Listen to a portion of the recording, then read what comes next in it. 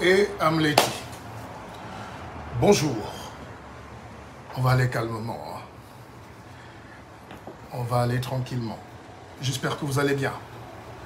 Alors, visite de Macron au Cameroun, acte 2. Mais C'est sa deuxième journée à Yaoundé. Il va aller au Club Noah. Le Club Noah que j'ai la chance de connaître particulièrement parce que je ne suis pas de ceux qui vivent la vie par procuration. J'ai connu le père Noah, Zachary, un homme formidable qui m'a pris comme son fils. Et Yannick est un frère et ami, évidemment, dont j'ai dormi au club Noah à Etoudi, hein, à Tongolo. Et c'est un cadre magnifique et c'est là-bas où Macron va recevoir la communauté française. Je sais qu'ils sont déjà en train de petit déjeuner parce que la journée est longue. Macron n'a pas vu le vieux. Ah, le vieux est encore caché. Et euh, on va décrypter un peu tout ça là. Ne laissez jamais personne emballer votre cerveau. hein. Le noir est émotif, il ne veut pas réfléchir. Il est dans la guerre, les combats, la frustration. Il oublie de vivre. Quand Macron arrive, il faut savoir tirer parti. hein. Qu'est-ce qu'on gagne? Qu'est-ce que vous devez gagner? Alors, moi, ce qui me plaît, c'est que j'ai vu... euh, attendez, oh là là, non, je ne voulais pas perdre cette vidéo. J'ai vu une... Bon, vu une belle image tout à l'heure. j'ai vu une très belle image de... Euh, attendez, attendez, il faut que je la retrouve. Euh,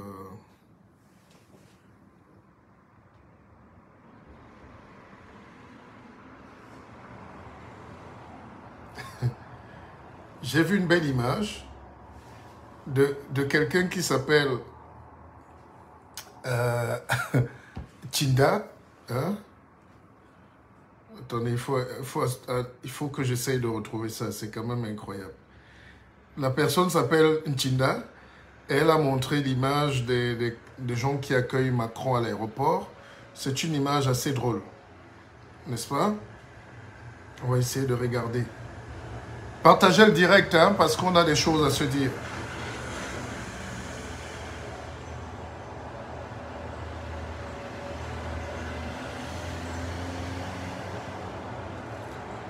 On a des choses à se dire et je vais vous démontrer aussi euh, ce qu'on appelle les biais cognitifs. Il ne faut jamais tomber dans les biais cognitifs. Quand vous êtes dans les biais cognitifs, c'est-à-dire le cerveau n'arrive pas à assimiler, à analyser, vous faites toujours des mauvais raisonnements. J'essaye de vous trouver quelque chose de pertinent. J'ai vu une vidéo tout à l'heure. Bon, c'est pas très important. Vous avez vu la vidéo des jeunes qui dansent à l'aéroport. Bon, ça c'est... C'est un classique de la négrerie. Bon, en même temps, il faut bien accueillir. hein. Il faut bien accueillir. Je trouve pas mauvais d'accueillir un président français en remuant le popotin. Qu'est-ce qu'on a d'autre à offrir? Chacun donne ce qu'il peut offrir. Alors, on va essayer de décrypter euh, la visite du président Macron, hein, tranquillement, sans émotion. Vous savez que moi, je fais de l'analyse. Je ne suis pas dans les, les.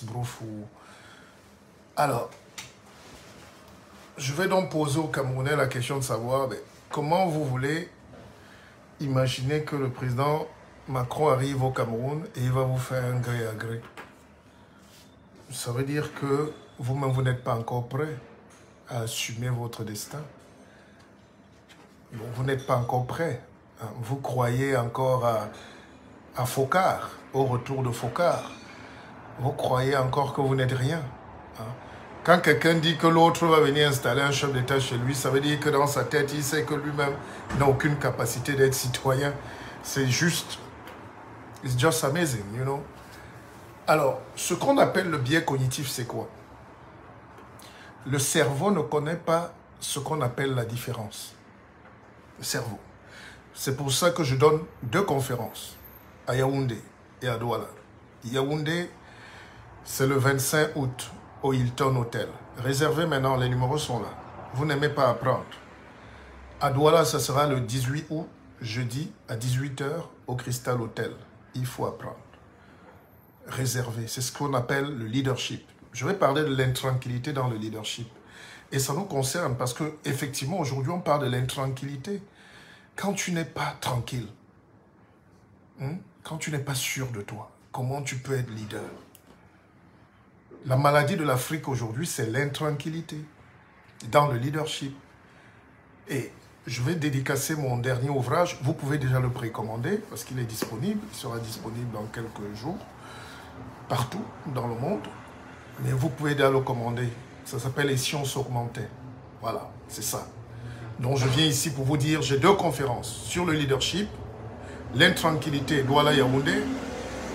Et euh, monsieur, j'ai déjà donné un numéro de téléphone, vous me demandez un numéro. Il y a un numéro pour Yaoundé.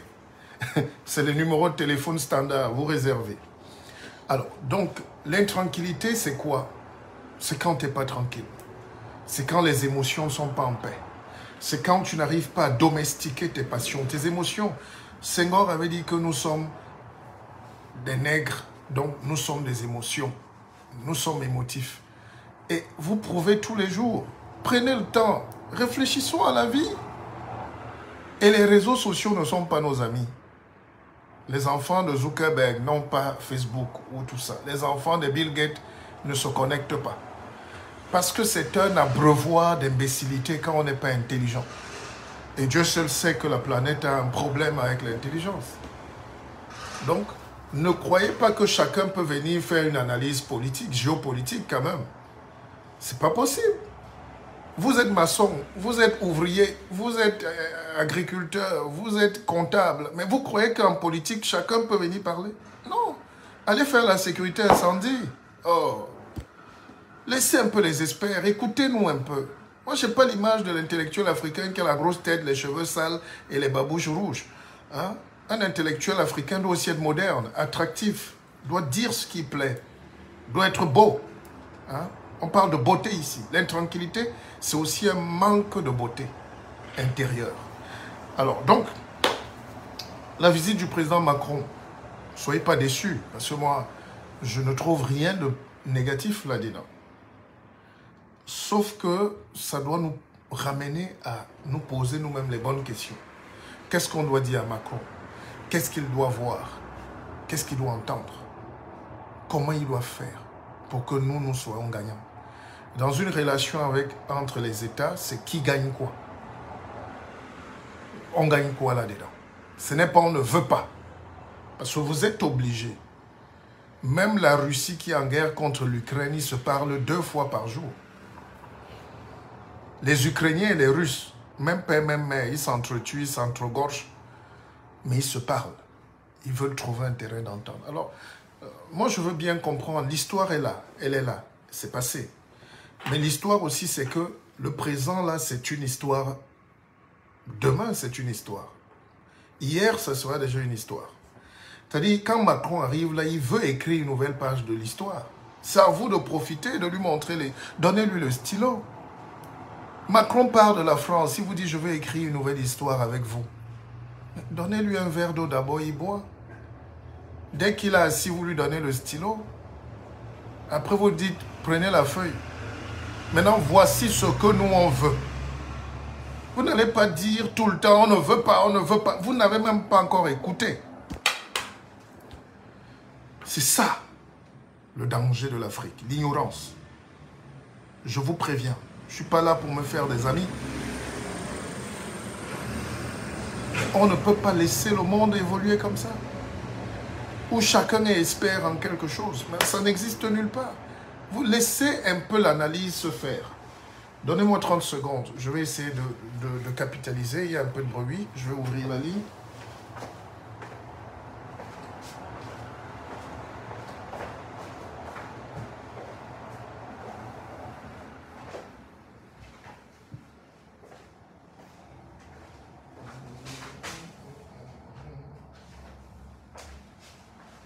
Ah, je pense qu'on est mieux comme ça on n'est jamais mieux servi soi-même. Partagez le direct. Voilà. Alors, moi, ce que je vois, c'est que la France sait La France a toujours été en difficulté, comme toutes les puissances. On est puissance que parce qu'on s'appuie sur les gens qui ne sont pas puissants. C'est la masse des gens impuissants qui donne la puissance aux autres. C'est-à-dire, c'est notre bêtise, c'est notre faiblesse qui a donné, jadis, hier à la France, ces heures glorieuses.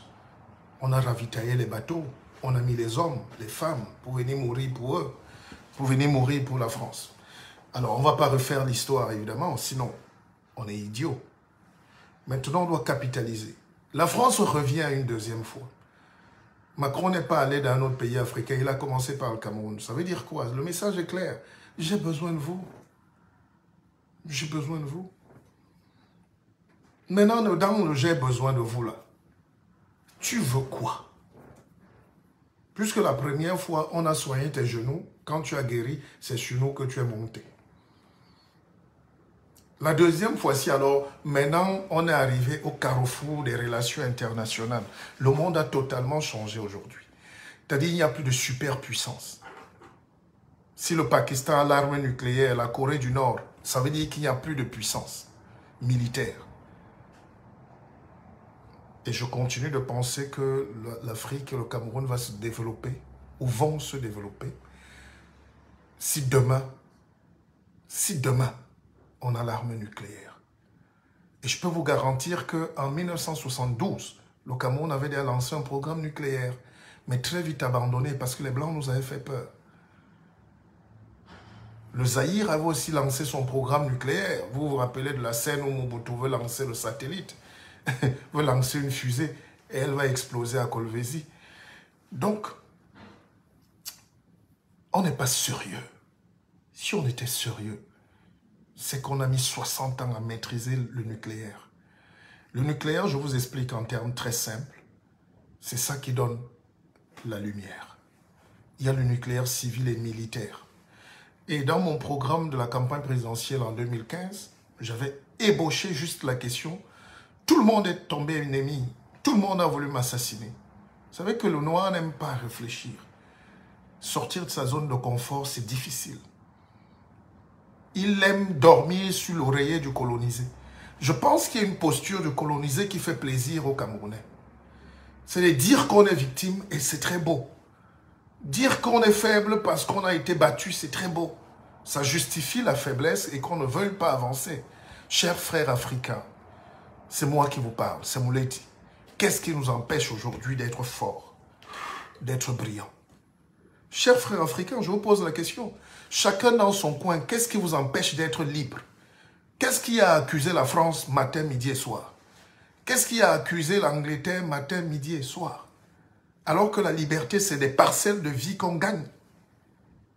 Je sais que vous ne m'aimez pas. Moi, sinon, je serais le plus grand professeur africain aujourd'hui dans toutes les universités. Je fais des conférences dans tous les pays, mais à coût de millions de dépensés et de perdus. Parce que les gens sont hermétiques. Alors le nucléaire, c'est quoi? C'est qu'on prend l'atome, des atomes de carbone, on chauffe à très haute température, 3000 quelque chose, plus de 3000 degrés, et on refroidit brutalement. C'est l'uranium.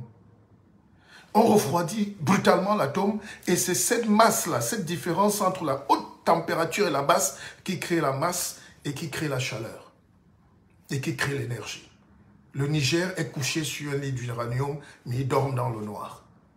Et si vous ne voulez pas réfléchir, si vous ne voulez pas avoir des chercheurs, le seul intellectuel qui est au Niger, c'est Maman.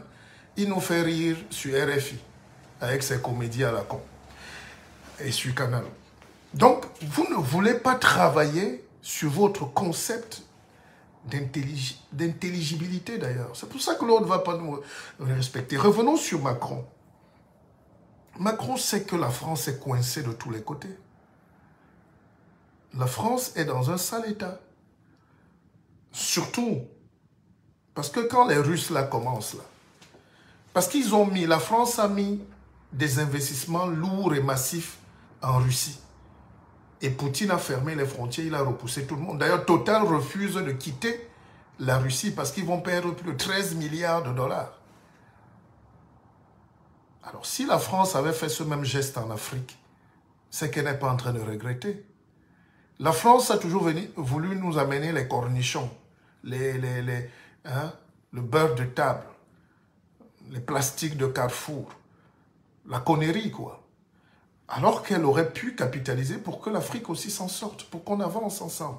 Alors je dis moi au président Macron, Monsieur le Président, soyez sincère. Vous avez 40 ans, ou à peine, ou un peu plus, ou 44. Prenez votre destin mais Ne nous voyez plus comme les pygmées d'hier. Les pygmées d'hier ne sont plus les pygmées d'aujourd'hui. Vous êtes en train de prendre votre petit déjeuner et ce message vous, touche directement. Avec toute la différence, bien sûr, due à un chef d'État. Mais ce n'est pas là le problème. C'est qu'il faut vous dire d'arrêter de prendre les Africains aussi comme des lapins de six semaines. Venez faire des vraies affaires. Arrêtez de venir nous vendre les voitures japonaises à nous, avec ces fausses technologies, et vous quadruplez les prix pour appauvrir l'Afrique. C'est ça le problème. Chaque fois qu'un Africain voit la France, il sait qu'il va être volé. Il sait qu'il va être racisé. en plus du racisme structuré, il y a un racisme fondamental, il y a un racisme structuré. J'ai quelqu'un qui travaille, j'ai vu quelqu'un qui travaille dans le milieu hospitalier, par exemple en France, ça c'est une parenthèse, monsieur le président Macron, euh, c'est à vous que je parle là maintenant. Quand il y avait le Covid, toutes les petites blanches et tous les petits blancs ont fui l'hôpital. Ils ont refusé de se vacciner. Ils ont abandonné les noirs, les négresses, à faire le sale boulot, laver les trucs, euh, porter, prendre des risques pour attraper même. Tous ces gens sont tombés malades. Médecins, infirmières, soignantes, mais c'était les Africains, pour la plupart. Alors, écoutez bien ce que je vous dis. Comment le racisme est très bien structuré en France. Maintenant, dès que le, le Covid ou la Covid est fini, ils sont repassés maintenant aux journées supplémentaires. Comment on appelle ça? Euh, les, jours supplémentaires. Je ne suis pas travailleur. Euh, des nuits, euh, voilà, heures supplémentaires, mais de nuit. C'est souvent 350 euros. Mais maintenant, ça compte triple, donc à 900 euros la nuit supplémentaire. Et vous savez ce que les agents, les infirmiers, infirmières africains, d'origine africaine m'ont dit? Dans tous les hôpitaux, hein, on choisit rien que les blancs rien que des blancs. Des infirmières qui ont fui, qui n'étaient pas là pendant le Covid, c'est elles qui gagnent. 900 euros par nuit. Donc quand ça gagne, quand ça rapporte, là la France, elle ferme les portes. C'est très fin. Et ça, c'est l'hôpital. L'autre jour, vous avez vu un restaurant en plein Paris qui refuse l'entrée aux Africains. Et ils assument. On ne veut pas voir d'Africains. Nous sommes à Paris en 2022 et vous êtes au Cameroun. Je laisse ce côté. Maintenant, vous avez vu comment vous avez mis une dame qui fait pleurer de rire et pitié aussi, kéké. Mais elle était honnête. Elle a vu ce que les députés mangent par jour à l'Assemblée nationale au restaurant. C'est le salaire de quelqu'un pendant 40, 30 jours en France. Un seul repas d'un député. Elle était choquée, elle qui est femme de ménage. Elle qui a lavé vos draps pendant 20 ans. Bon, bref, c'était ça, passons. Donc, le premier problème à régler, c'est le regard que le blanc français porte sur les autres français. Et maintenant sur les autres Africains, alors. Que tu sois noir, antillais, jaune ou rouge, quand tu es noir, que tu aies le passeport Bordeaux ou pas, tu es noir. Ton passeport est noir. Et vous amenez ça en France. Vous portez ça, vous ramenez en Afrique, où vous avez une structuration de la société, où il y a tous ces petits blancs français qui vivent comme des rois là-bas. Ils font des chiffres d'affaires de milliards d'euros. C'est cet argent-là qui afflue les caisses de la France. Et c'est cet argent. Mais c'est notre argent, c'est l'argent de l'Afrique aussi. Pensez à partager. C'est vrai, c'est pas vous le responsable, hein, Macron. Mais pensez vraiment à la dignité des Africains. Et je vous sais, je vous sais très intellectuel, je vous sais sensible, je vous sais peut-être pas humaniste, mais vous avez lu Paul Ricoeur, qui était un philosophe de lumière, un grand homme. Moi aussi j'ai lu Paul Ricoeur, un peu même plus que vous. C'était votre maître à penser, mais pas le mien. Moi c'est Fabien Boulaga, moi c'est Martien Toa, moi c'est Mongo Betty. Mais je vais vous dire, Prenez donc la responsabilité de dire, même quand le noir ne sait pas qu'il mérite la dignité, allez les réhabiller de dignité. Vous les avez déshabillés. La colonisation nous a tués. Donc quand vous venez comme ça, les gens n'arrivent pas à laver leur cerveau eux-mêmes. Je parlais de biais cognitifs tout à l'heure, M. Macron. Et surtout aux Africains. Arrêtez ça. Le cerveau ne connaît pas la négation. Si tu dis au, cerveau, je vais tomber tout à l'heure, et euh, tu vas tomber. Si tu dis au cerveau, il y a trop d'obstacles, il va seulement retenir obstacles et il, va t'amener vers les obstacles. Si tu dis au cerveau, et c'est ça aussi le rôle d'un coach, d'un leader politique. Malheureusement, tout le monde fait de la politique aujourd'hui en Afrique. C'est terrible. Il n'y a plus d'économie, personne ne veut investir, personne ne veut travailler, tout le monde est politicien. Mais dans le vide, on n'est pas politicien quand on n'a pas de substance idéologique, quand on n'a pas de consistance. Alors, les biais cognitifs, c'est quoi? C'est que le cerveau ne connaît pas la négativité. Si tu dis au cerveau, quand tu dis à un enfant, ne mange pas, on, on ne mange pas là, on ne mange pas à table, on ne mange pas au canapé. Il va manger au canapé. Si tu lui dis par contre, va à table, passons à table, il va passer à table. Donc allons à l'essentiel. Tous les Africains qui vont que dire, tous les Camerounais qui font que réciter Macron gré à gré, vous êtes en train de dire qu'il y aura gré à gré. C'est vous qui êtes en train de le dire. Qui êtes en train de le dire. Je, sais que les études chez nous, c'est pas très fouillé. Les gens ne veulent pas travailler. Mais je vous explique terre à terre. Hein. Ne faites plus jamais cette erreur.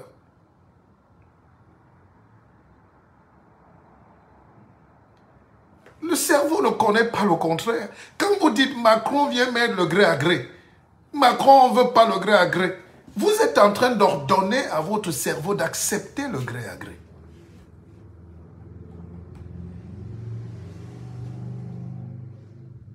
Moi, j'ai rien contre, par exemple, les homosexuels, mais vous savez, ce débat-là est déjà banal en Afrique. Il y a des pays comme l'Afrique du Sud, le Gabon, qui ont reconnu l'homosexualité c'est la liberté. Mais il y a quelques années, c'était même interdit de dire que quelqu'un est homosexuel. Alors le débat, c'était déjà d'introduire l'homosexualité dans la société comme débat. On ne veut pas l'homosexualité, on ne veut pas. On ne veut pas aujourd'hui tous nos enfants que vous voyez à la télé, vous voyez ce que ça devient. Dans toutes les maisons, maintenant, c'est la mode d'être efféminé. Finalement, il n'y aura plus de père d'enfants, il n'y aura plus d'humanité. Parce que les gens estiment que nous sommes pleins. La terre est saturée. N'est-ce pas? J'ai écouté des spécialistes français nous dire que l'Afrique aura, euh, la Terre aura 8 milliards d'habitants et l'Afrique surtout vraiment, euh, l'Afrique c'est 30 millions de kilomètres carrés. 10 fois plus grand que la Chine. Et les Chinois sont 1 milliard et demi, ça vous choque pas. Les Indiens sont 1 milliard 800 000, ça vous choque pas. L'Afrique, 1 milliard et demi, avec 30 millions de kilomètres carrés, c'est ça qui vous dérange. Alors que l'Afrique est vide. Arrêtez ça. Maintenant, je parle aux Camerounais. Quand vous dites à un chef d'État, du matin au soir, vous êtes haineux. On ne veut pas de gré à gré. On ne veut pas de gré à gré. Mais vous êtes en train d'imposer à votre cerveau l'idée du gré à gré. Et c'est ça qui va se passer. Moi, à titre personnel, ça ne me gêne pas. Soyez donc responsable de ce que vous êtes en train de créer. Personne n'a parlé de ça. N'orientez plus votre cerveau vers la bêtise. C'est ça le biais cognitif. C'est ça l'intranquillité dans le leadership. C'est ça le doute qui n'est pas cartésien. C'est ça la bêtise africaine. On ne veut pas la France, on ne veut pas Macron. Macron est arrivé, vous avez fait quoi? À force de dire on ne veut pas, on ne veut pas, vous êtes en train de dire à votre cerveau oui, on veut. La femme dit toujours non, non, non, non, c'est un oui, bien sûr. À 4 heures du matin, elle dit oui. Donc, il faut qu'on réapprenne donc à nos frères africains, en général, et surtout camerounais, à comprendre comment fonctionne le corps humain, comment fonctionne le cerveau, comment fonctionne la grande manipulation, comment fonctionne l'idéologie. Et l'idéologie, c'est la politique. Et tout ça, je l'ai écrit dans mon dernier livre que je vous invite à commander. Ça s'appelle Ici on s'augmentait. Effectivement, il faut lire. Il faut étudier.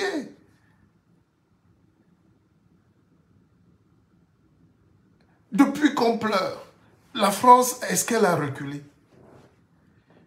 Non, on ne recule pas parce que vous, vous parlez. N'orientez plus votre cerveau vers la défaite. C'est comme quand quelqu'un dit je suis noir, vraiment je suis. Mais tu es noir, tu n'as pas à le dire. Wall Soyinka disait que le tigre ne proclame pas sa tigritude. Si nous sommes forts, si nous sommes puissants, si nous sommes grands, si nous sommes beaux, intelligents, mais prouvons-le, travaillons, démontons ces, barrières. En plus, aujourd'hui, il y a une race d'Africains qui est haineuse totalement. Je vous rappelle que la guerre la plus violente, c'était entre l'Allemagne et la France. L'Alsace-Lorraine, n'est-ce pas? Même avant ça, il y a eu Bismarck. Mais aujourd'hui, qui est le premier partenaire économique de la France en Europe? C'est l'Allemagne. Alors, nous pouvons aussi imaginer améliorer la relation avec cette même France en faisant évidemment attention à ne plus commettre les erreurs d'hier. C'est tout. C'est tout.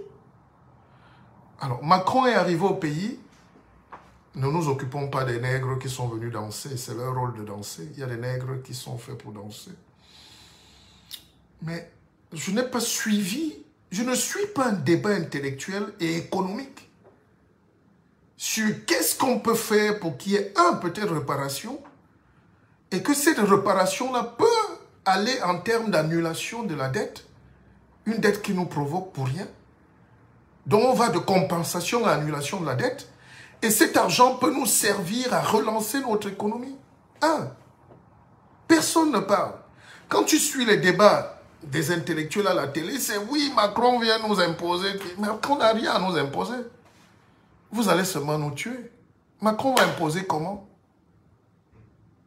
Par quel procédé intellectuel? Peut-être un coup d'État? Je ne sais pas. Peut-être la Légion va sauter sur Colvézi. Je ne sais pas. Ils vont, ils vont euh, imposer quelqu'un à la tête. je ne sais, je pas. Je réfléchis comme vous. Mais sur le plan économique, j'ai suivi un journaliste nègre sur TV5, la chaîne des petits esclaves là, euh, une chaîne que les Africains adorent, une chaîne qui est contre leurs intérêts. On a pris un journaliste qui s'appelle Francis Kwatinde ou. Il dit qu'il enseigne. Je ne sais pas qui il enseigne. Alors, Kwatinde nous dit que la France, et c'est là où il faut faire très attention, L'information est subtile. Hein. Là, c'est le président Macron, c'est les services français qui travaillent tout ça. On fait dire à un noir que la France est le septième partenaire commercial du Cameroun. Vous pouvez croire ça. Qui est donc le premier? On fait dire que la France n'a plus, n'a que 33% d'actifs. Hein? Vous voulez. Tout ça, c'est pour apaiser les cœurs des Africains. Nous, on est sur le terrain. Nous, on est sur le terrain. Je serai au Cameroun dans quelques juste après le départ de Macron. Je ne voulais pas qu'on nos regards se croisent. Parce que moi, je ne suis pas gentil. Je ne suis pas le nègre qu'on aime. Je ne suis pas le nègre qu'on met dans l'avion ou dans le bateau. Hein? Je ne suis pas le nègre qui, fait, qui est gentil, qui est doux. Je suis aigre doux. Alors, tout ce qu'on vous donne comme information sur TV5 ou RFI, ces choses-là, dégagez de... Un Africain aujourd'hui doit d'abord dégager ça.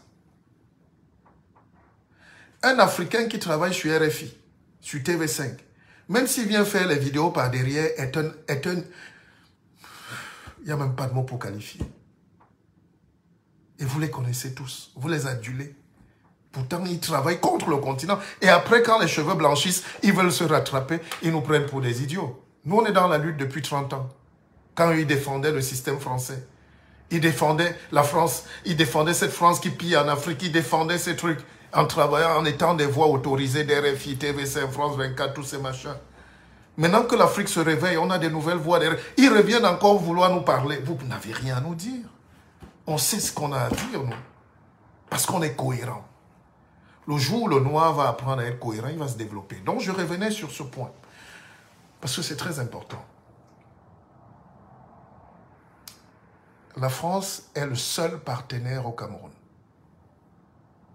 Je dis le seul. Pour ne pas dire le premier. C'est une la palissade.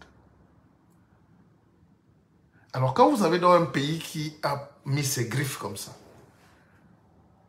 soit vous négociez, quand quelqu'un te met le cori, hein, même au judo on tape. Hein, on tape le sol là.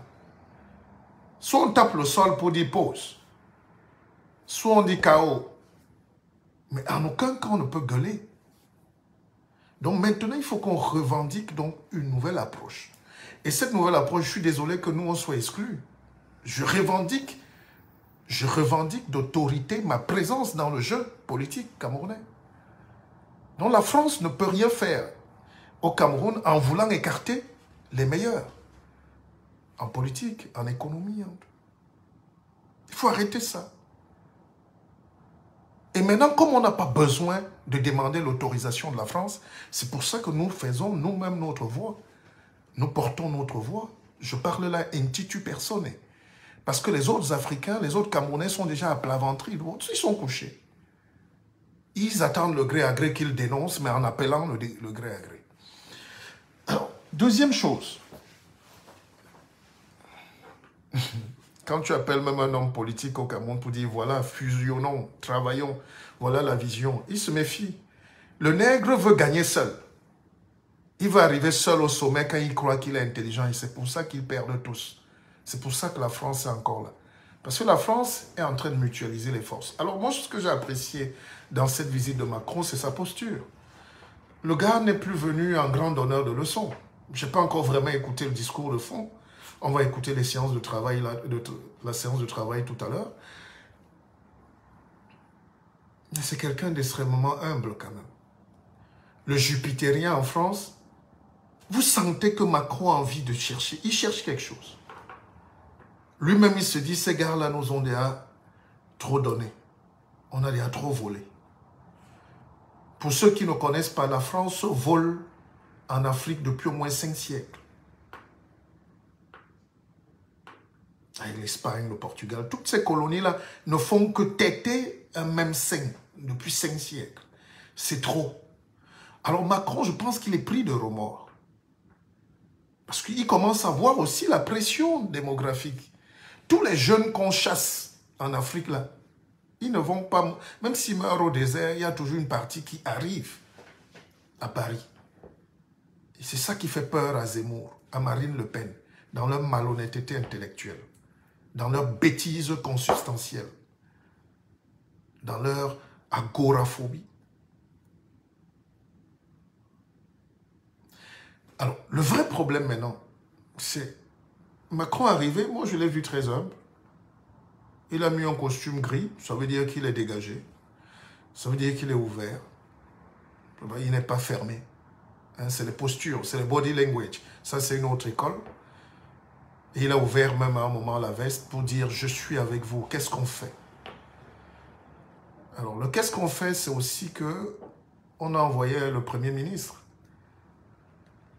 et euh, évidemment, il faut respecter l'âge du président Biya, qui pour moi, je le prends comme un héritage aujourd'hui. Euh, beaucoup ne sont pas d'accord avec moi, mais je ne demande pas leur avis. Je pense que quand ton père t'a laissé une maison, même si elle est inclinée, tu ne vas pas pleurer que tu prends, c'est ton héritage.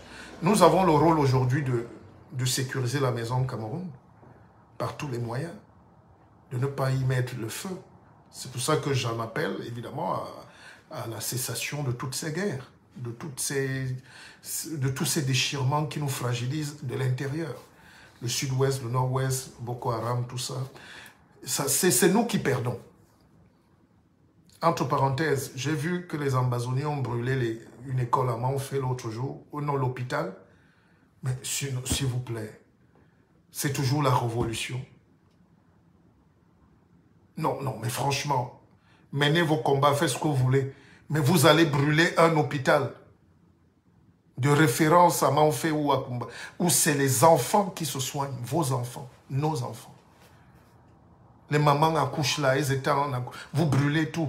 Je veux que ce... Mais ça se passe où comme ça? Citez-moi un peuple au monde qui peut brûler lui-même son propre hôpital parce qu'il est en guerre.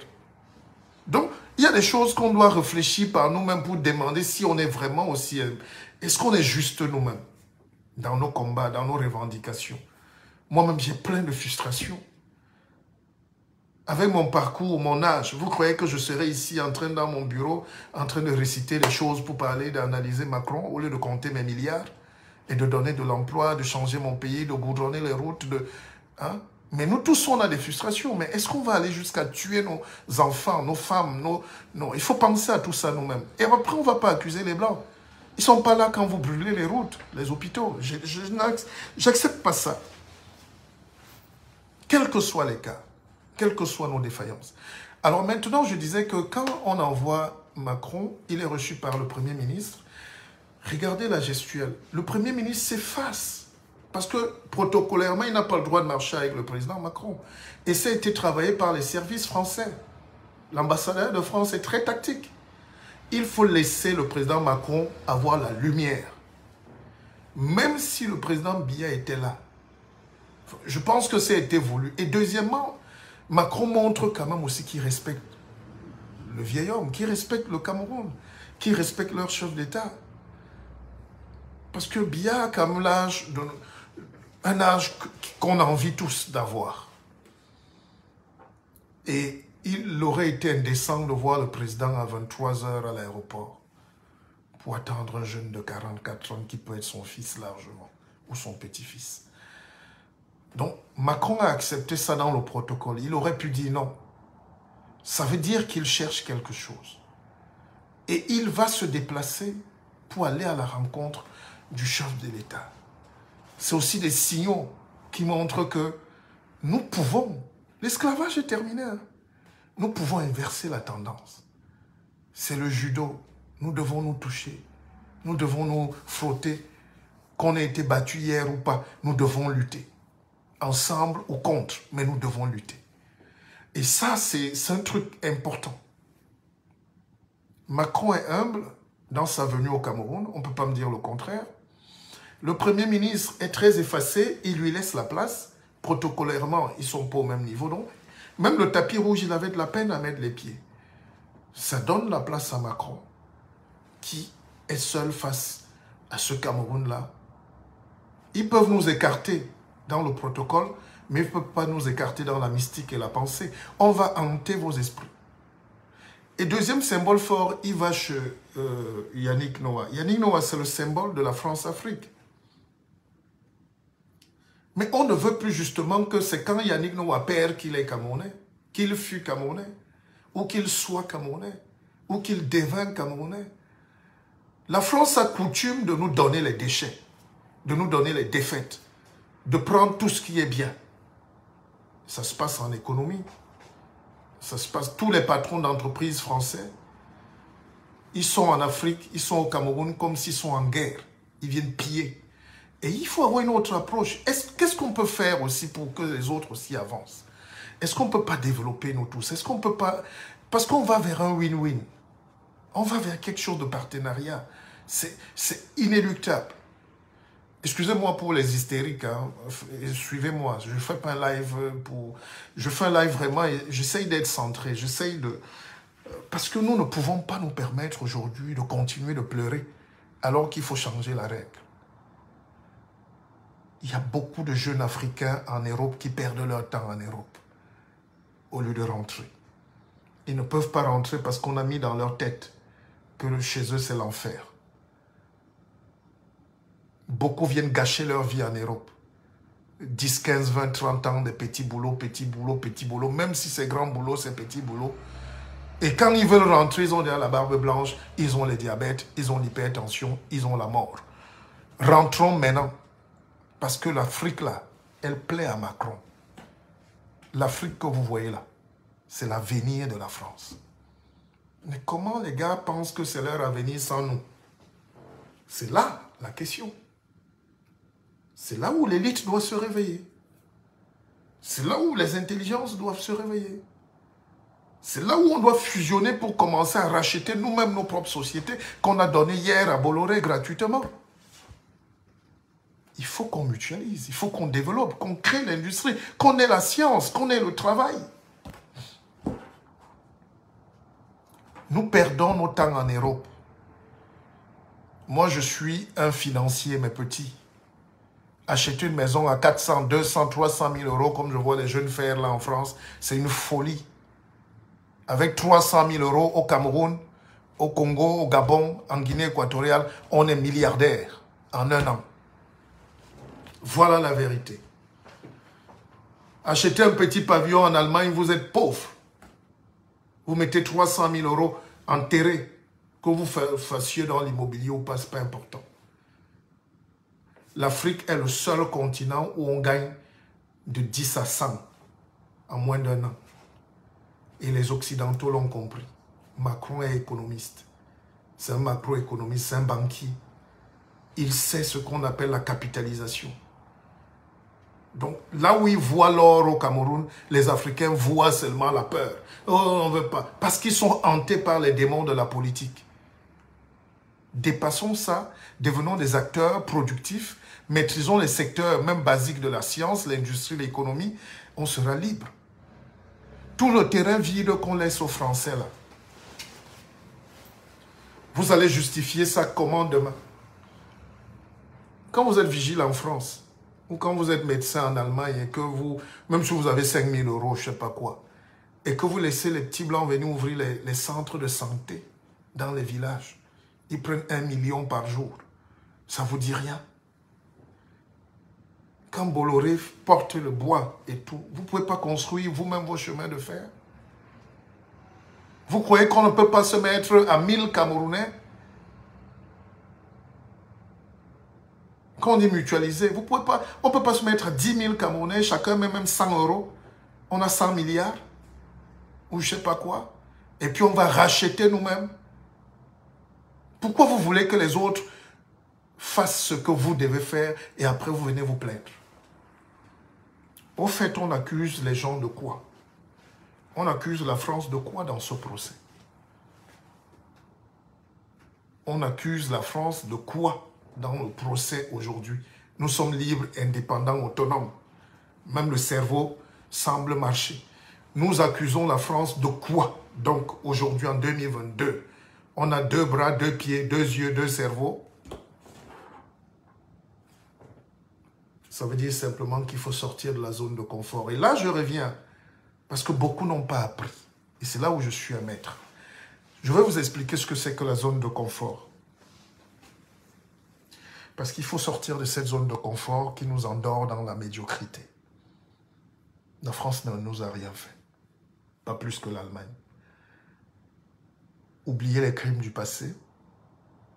C'est à nous-mêmes de faire pour demain nos choses. C'est à nous-mêmes de décider de ce que vont devenir nos enfants demain. Vous êtes infirmière ici, vous mourrez pour 1200 euros. Vous ne savez pas que vous faites 10 hectares au Cameroun dans votre propre village, vous êtes millionnaire?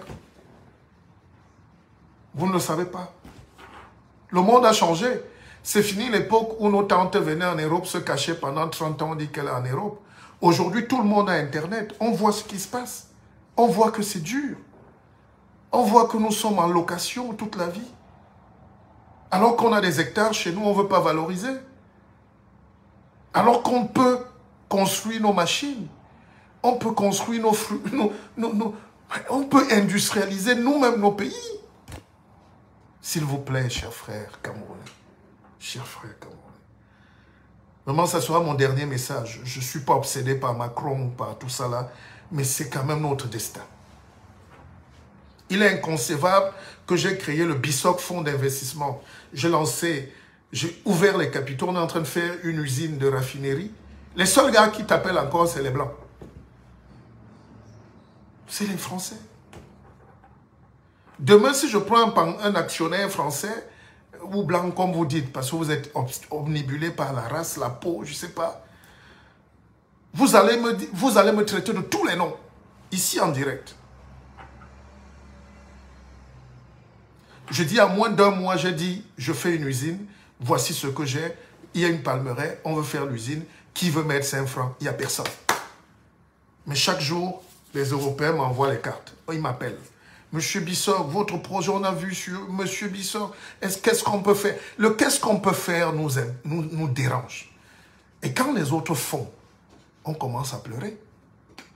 La faiblesse est fondamentale chez nous. La faiblesse est congénitale. Mais ce n'est pas une fatalité, non? Alors, je reviens sur la notion de zone de confort. C'est un domaine de la conscience et de l'inconscient.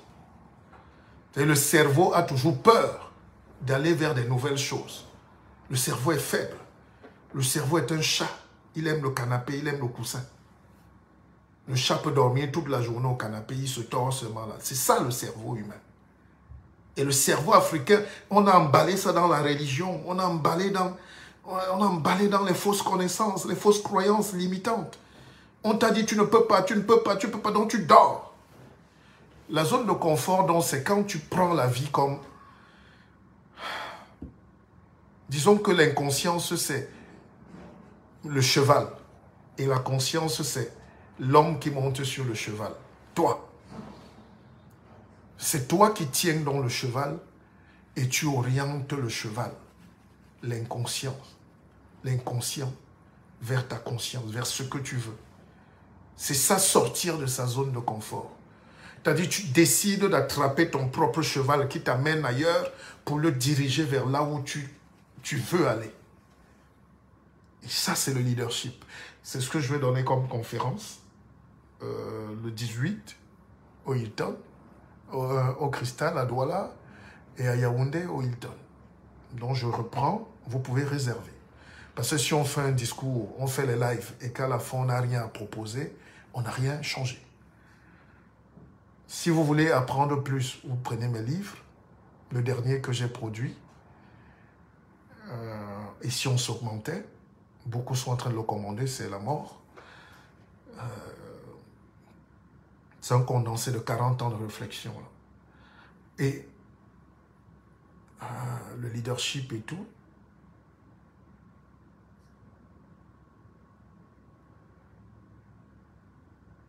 et regardez comment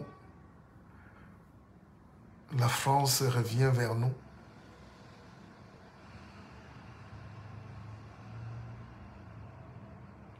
C'est la France qui revient vers nous. Mais nous, on n'est jamais venu vers eux. C'est eux qui sont toujours venus nous chercher. Même quand on chasse les Noirs aujourd'hui en Europe, c'est comme s'ils sont venus de même. C'est vous qui venez les chercher. C'est vous. Donc la France revient, Macron revient nous chercher.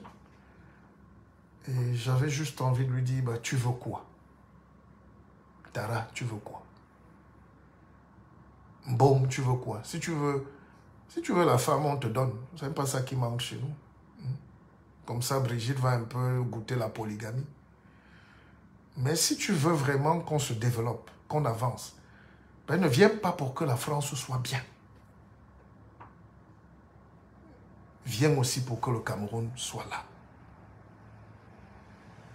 N'est-ce pas? Alors, quand j'ai fini de dire ça, je vous dis, chers Africains, bonne continuation. C'était mon analyse de la situation ce matin. Je ne veux pas être long. La situation va évoluer, on va venir, on va avancer, on va continuer de réfléchir. Et euh, ne vous laissez plus emberlificoter par les termes qui ne nous servent à rien. Dans aucun pays au monde, on ne peut imposer quelqu'un aujourd'hui à la tête d'un pays. Sans la volonté du pays, du peuple, donc de vous-même. Donc arrêtez de dessiner le diable sur le mur. Quand on était petit, on nous disait de ne pas écrire 666 sur le mur. C'est le nom de code du diable. Parce que l'Afrique doit dépasser toutes ces choses-là. Même la religion, quand on en parle ici, surtout la religion catholique, les Noirs sont effrayés, comme si on a tué quelqu'un. Les Chinois prient ce qu'ils prient, mais ils ne sont pas pauvres, ils ne sont pas morts. Le pape est allé au Canada, pour terminer, pour demander pardon. Le pape est au Canada pour payer. L'Église catholique va payer des centaines de millions de dollars et demander pardon aux pygmées de là-bas, aux autochtones canadiens, aux Indiens qu'on a pris, on a déporté, on a fouetté, on a sous prétexte qu'on va les former, on les a violés, on a lavé leur cerveau, on a détruit leur pays. Et l'Église catholique va demander pardon. Nous nous demandons aussi que quand le pape quitte là-bas, qu'il revienne demander pardon à l'Afrique, à commencer par le Cameroun. Parce que quand quelqu'un te prend sous prétexte de t'émanciper, de te civiliser, il te viole, il te, il te casse le cerveau, il te tue, il te met les choses dans la tête, tu commences à croire que tu es un lion. Tu commences à faire comme un lapin alors que tu es un lion. C'est ça l'homme noir aujourd'hui. L'homme noir croit qu'il est un lézard alors qu'il est un crocodile. L'homme noir croit qu'il est une antilope alors qu'il est un buffle. L'homme noir ne sait pas. Et c'est là où on tombe sur le biais cognitif. La pensée a changé. On se voit toujours petit, en paresseux, en feignant, en suppliant, en ayant peur. Regardez un jeune comme Macron, même s'il représente l'État français qui est une puissance. vous croyez qu'il a quoi de plus? C'est un être humain? Pourquoi parler en baissant les yeux? Pourquoi parler en baissant la tête? Pourquoi ne pas lui dire on ne veut pas ça? Maintenant, on peut parler vrai. À l'époque, tu parlais mal comme Sankara. Mitterrand te faisait exécuter. Aujourd'hui, tu ne peux plus tuer quelqu'un. C'est la liberté du monde. Le monde est multipolaire. Le monde est éclaté. Ce que la France ne peut pas nous donner, on va aller le prendre en Chine. Ce que la Chine ne peut pas, on va aller le prendre au Kenya, dont nous sommes libres. Oh, Amleti. Et Amleti. Je me suis levé à 4 heures du matin pour penser à ça, à réfléchir. Je n'avais pas envie de faire ce direct. Après, je me dis, mais, je dis, mais mes frères n'aiment pas ça. Pour l'ennemi de l'Africain, il faut commencer à lui dire, achète un livre. Réfléchissons, luttons. On aime la facilité. Oui, Macron, euh, Macron, gré à gré. Oui, oui, ça c'est le perroquet qui fait ça. Maintenant, techniquement, qu'est-ce qu'on a pour dire non? C'est l'économie. Si Macron était arrivé, il trouvait qu'on a le blé qui pousse partout. On a le coton qui déborde, on a nos propres tissus, nos propres on a nos propres petites voitures, on a nos propres mobilettes. Il allait peut-être être notre client. Mais comme on n'a rien à proposer, à part les vous n'avez rien à donner.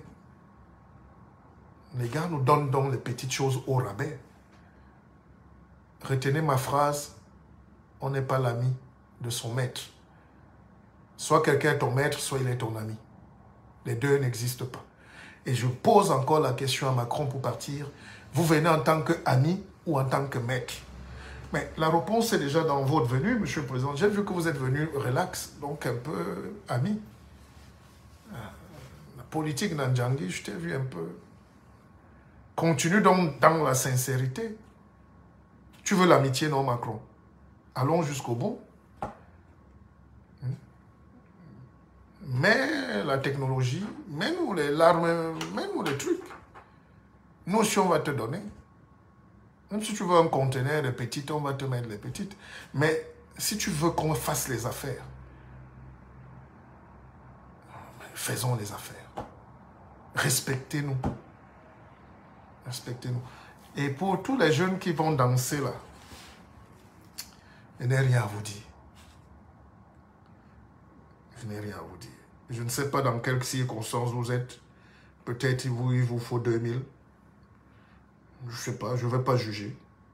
Mais quand vous-même vous allez vous regarder, quand vous serez adulte, si vous êtes jeune, ou bien quand votre cerveau va s'ouvrir demain, on va vous remontrer vos mêmes photos. Vous savez, quand on était petit, on dansait dans les clips.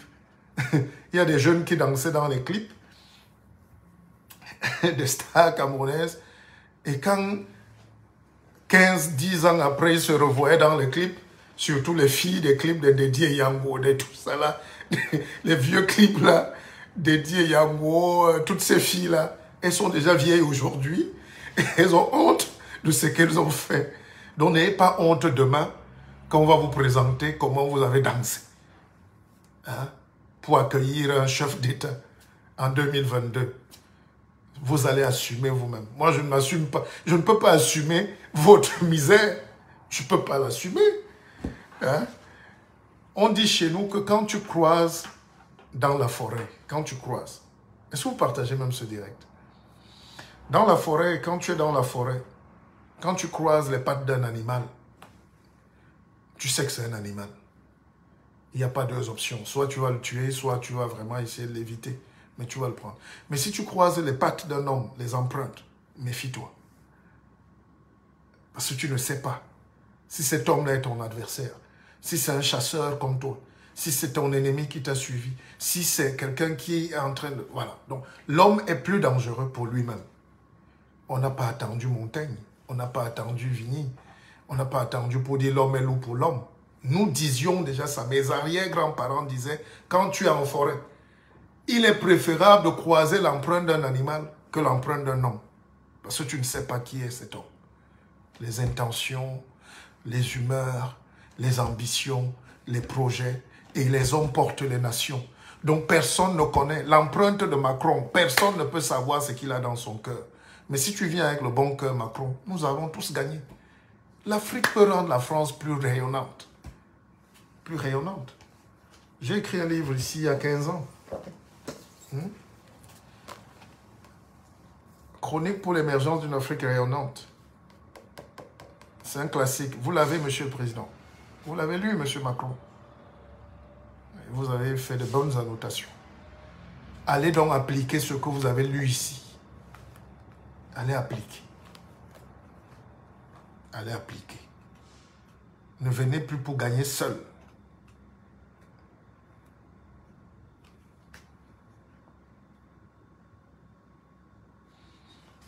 Nous voulons l'innovation dans tout ça. L'innovation. Et l'innovation dans tout ça. Et Amouleti.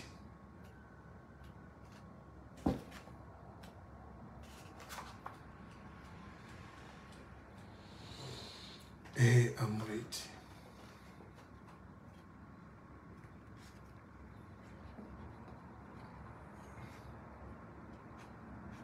Parce qu'on ne peut pas vivre aujourd'hui dans une dans une structure d'un pays où il n'y a rien. L'hôpital est sous perfusion. La transition est en transhumance d'ailleurs. Euh, le commissariat central est sans unité centrale.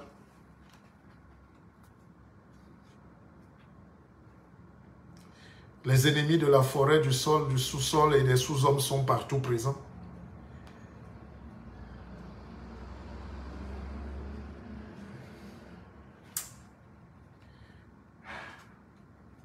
On a du chemin. Mais écoutez, j'ai rendez-vous sur les Champs-Élysées. Laissez-moi aller aussi au Georges V faire comme si j'existe. On va effrayer un peu la galère, comme disent les jeunes. Allez, bon séjour, Monsieur Macron. Profitez bien, c'était une petite chronique, c'était un billet. Et dites à votre ambassadeur que sa petite tête là, il a une tête bizarre. Une tête un peu bizarre. Une tête. Une tête. L'ambassadeur là, we go, do something. We go show Pepe. L'ambassadeur, là, il a une tête un peu... Il est très vicieux, cet ambassadeur-là. Très vicieux. Bon, mais Macron est sympa, dis donc. Il faut aimer. Quand vous me voyez un jeune président comme ça, on a Guy Mais des gouttes Il faut goûter something else. Allez. Trois fois Keva, merci. C'était juste un petit biais d'humour, mais grosso modo, serons vigilants. Je vous aime.